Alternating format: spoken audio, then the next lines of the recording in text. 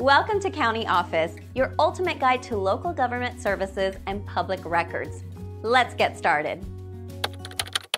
Does Las Vegas have sales tax? Las Vegas is located in Clark County, Nevada. The state of Nevada does impose a sales tax on retail sales of tangible personal property.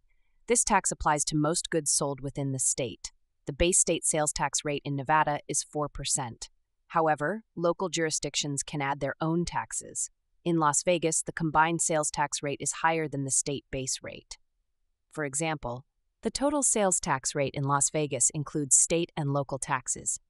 This is important for consumers to understand when making purchases. Sales tax is collected at the point of sale.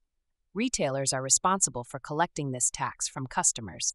They then remit the collected taxes to the state.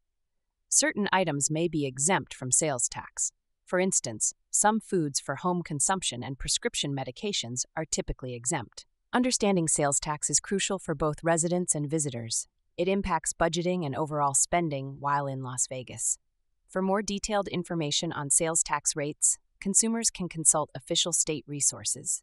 It is also advisable to check local government websites for updates on tax rates.